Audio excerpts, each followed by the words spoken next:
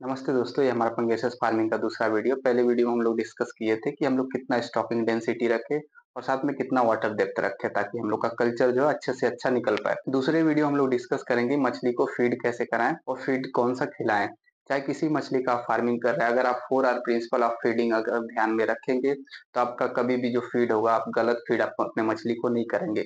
इसमें जो पहला आर होता है वो स्टैंड करता है राइट फ़ीड। राइट फ़ीड मतलब आपकी मछली कौन-सी साइज़ की उसके हिसाब से कौन से साइज़ का आपको पिलेट फ़ीड चाहिए और साथ में जो मछली है कौन से स्टेज में उस हिसाब से कौन-सा प्रोटीन चाहिए उसको, कितना फैट चाहिए, न्यूट्रिशन वैल्यू कितना चाहिए, इसके हिसाब से आपको फ़ीड कराना होता है, ताकि मछली और फ़ीड का जो है एक अच्छा कनेक्शन बन पाए, जिससे आपको ज़्यादा से ज़्यादा ग्रोथ मिले और साथ में आपका जो एफसीआर हो कम से कम मिले, ताकि आपका जो प्रोडक्शन है वो अच्छे से चले और आपको प्रॉफिट भी अच्छा हो।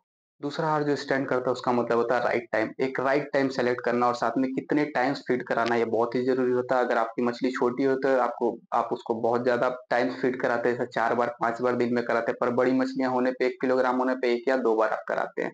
तो कितने टाइम्स आपको फ़ीड कराना और सही टाइम क्या है आपको फ़ीड कराने का, सुबह कराना है, शाम को कराना है, ये आपको डिसाइड करना बहुत ही ज़रूरत है। जैसे कि मैं आपको बता दूँ, सूरज निकलने के बाद फीडिंग हमेशा कराएँ और सूरज डूबने के पहले ही आप फीडिंग कराएँ। और गर्मी के दिनों में बेहतर होगा कि दोपहर में फीडिंग को इग्नोर करें, क्योंकि जो ऊपर का पानी का टेम्परेचर होता है, बहुत ही गर्म होता है। उस टाइम पे अगर आप फीडिंग कराएँगे तो मछली को गट हेल्थ में प्रॉब्लम होगी और डाइजेशन उनका स्लो डाउन हो जाएगा और साथ में आपकी मछलियाँ अच्छा ग्रोथ नहीं करेंगी। तीसरा पैरामीटर जो होता है राइट क्वांटिटी राइट क्वांटिटी मतलब कितना परसेंट आपके मछली को बॉडी वेट के हिसाब से आपको फ़ीड देना इनिशियल डेज़ में हैचरीज में हम लोग 10 परसेंट पंद्रह परसेंट तक मछली को फ़ीड कराते हैं। और जो आपकी मछली है, कौन सी साइज़ की है, उस हिसाब से आपको फ़ीड कराना है। आप अपने कंपनी जिस कंपनी का भी फ़ीड खिलाते हैं या फिर आप खुद बनाते हैं तो ये इंश्योर करें कि कौन सी मछली के स्टेज में कितना परसेंट प्रोटीन कौन से साइज़ का प्रोटीन और कितना परसेंट में फ़ीड को देना मछली को। ताकि एक फ़ीड और जो मछली का एक रिलेशन बना रहे, जिससे आपको कम से कम एफसीआर और ज़्यादा से ज़्यादा ग्रोथ मिले। इसके बाद से हर एक कंपनी का अपना अलग अलग डेटा होता है, वो काफ़ी सारा आर करने के बाद डिसाइड करते हैं, इस स्टेज में इतना अमाउंट प्रोटीन हम देंगे अपने फ़ीड का और इतना परसेंट देंगे तो मछली का सबसे ज़्यादा ग्रोथ मिलेगा।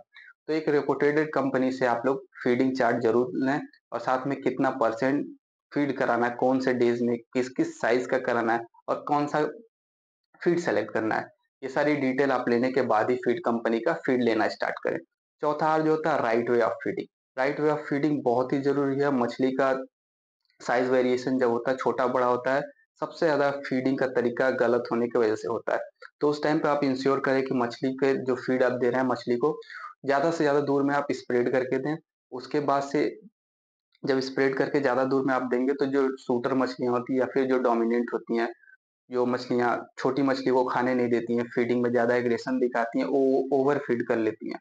और जो छोटी मछलियाँ आपकी होती हैं जो उन्हें फ़ीड नहीं मिल पाता है, जिसकी वजह से वो बहुत ज़्यादा कमज़ोर हो जाती हैं, या तो बीमार पड़ जाती हैं या तो रिकेट्स हो जाती हैं। तो ज़्यादा से ज़्यादा दूर पे आप स्प्रेड करके फ़ीड को दें। कभी भी जहाँ पे मछलियाँ ज़्यादा से ज़्यादा इकट्ठा हो गई हैं, वहाँ पर फ़ीड डालने से अवॉइड करें।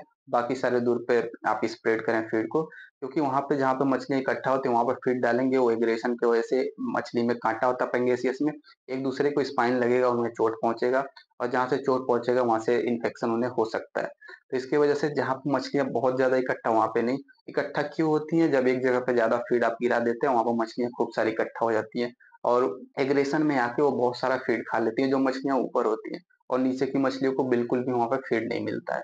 और साथ में जब फ़ीड आप चेंज कर रहे हैं जब फ़ीड आपको चेंज करना है दो एम से तीन एम में शिफ्ट करना है तो उस टाइम पे कुछ दिनों के लिए आप दो एम आधा और तीन एम आधा लेके फ़ीड कराएँ ताकि मछलियों का हैबिट में आए। डायरेक्ट आप एक दिन में सडन चेंज ना डालें। थोड़ा थोड़ा थोड़ा कर, करके दो चार पाँच दिनों में उन्हें ट्रेन करें ताकि एक फ़ीड से दूसरे फ़ीड में शिफ्ट करने में उन्हें दिक्कत ना आए। तो ये चार आर के प्रिंसिपल है हमेशा से याद रखें चाहे जो भी मछली हो आप हर एक मछली में फॉलो होता है। जिससे आपको कम से कम एफसीआर मिलेगा, ज़्यादा से ज़्यादा ग्रोथ मिलेगा और आपका पूरा जो प्रोडक्शन साइकिल है, ज़्यादा से ज़्यादा प्रॉफिटेबल होगा। ये कुछ जनरल पैरामीटर है, आप स्क्रीन को पॉज करके देख सकते हैं कि कौन से स्टेज में आपको कितना प्रतिशत प्रोटीन देना है और कौन से साइज़ का फ़ीड देना और कितना परसेंट फ़ीड देना है। पर ये ज़रूरी नहीं है, ये आपकी कंपनी भी यही बताती है। आप जिस कंपनी का फ़ीड यूज़ कर रहे हैं, उसका अलग अलग पैरामीटर होता है। कंपनीज़ बहुत सारे आर करने के बाद डिसाइड करती हैं कि कितना परसेंट फ़ीड देना है, कितना परसेंट प्रोटीन वाला फ़ीड देना है और साथ में कितने टाइम्स देना है। तो आप इंश्योर करें कि आप अपने कंपनी का जो चार्ट है उसको फॉलो कर रहे हैं, तभी आपको एक बेहतर ग्रोथ मिलेगा। सिर्फ़ फ़ीड खिलाने से आपको अच्छा ग्रोथ नहीं मिलता, इसके लिए आपको लीवर टॉनिक और ग्रोथ प्रमोटर खिलाना पड़ता है। लीवर टॉनिक खिलाने से जो मछली का लीवर होता है, काफ़ी ज़्यादा इंप्रूव होता है, जिसकी वजह से ज़्यादा से ज़्यादा मछली को ग्रोथ मिलता है। और साथ में जो ग्रोथ प्रमोटर होता है, उसके ही सारे एडिटिव मिले होते हैं, जिसकी वजह से आपकी मछली को ज़्यादा से ज़्यादा ग्रोथ मिलेगा। ये दोनों चीज़ आपको रेगुलरली नहीं देना होता, आपको हफ़्ते में दो से तीन दिन या फिर उससे भी कम देना होता। जिस कंपनी का आप लोग ग्रोथ प्रमोटर या फिर आप लिवर टॉनिक ले रहे हैं, उससे इंश्योर करें कि हफ़्ते में कितने दिन देना है या फिर वीकली देना है एक एक वीक करके अल्टरनेट में देना है। तो इंश्योर कर अपने कंपनी से किस पैरामीटर पे हमें और कितना अमाउंट में फ़ीड में इसको मिक्स करना है। तीसरा जो सबसे इंपॉर्टेंट चीज़ होता है, आप लोग हमेशा से यूज़ करें गट प्रोबायोटिक एक अच्छे कंपनी का गट प्रोबायोटिक ले, उसमें आपको क्या मिलेगा? गट प्रोबायोटिक दो चीज़ करता है। एक चीज़ आपके जो डाइजेशन सिस्टम होता है, उसको इम्प्रूव करता है। जिसकी वजह से पंगेसिस मछली होगी, इसका जो न्यूट्रिशन एब्जॉर्प्शन वैल्यू होगा, वो ज़्यादा इंप्रूव होगा, जिसकी वजह से उनको अच्छा ग्रोथ मिलेगा। दूसरा चीज़ जो गट प्रोबायोटिक करता है, ये इम्यून सिस्टम को बूस्ट करता है, जिसकी वजह से आपकी मछली जो होती है, उसे बीमारियों से लड़ने का ताकत मिलता है। जिसकी वजह से आपका डिज़ीज़ का जो रिस्क होता है, आपके कल्चर में वो कम हो जाता है।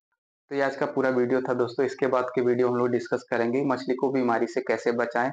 मछली का जो लास्ट में हम लोग सेल आउट करेंगे, उसके इकोनॉमिक्स के बारे में बात करेंगे और कॉस्ट कटिंग के बारे में बात करेंगे।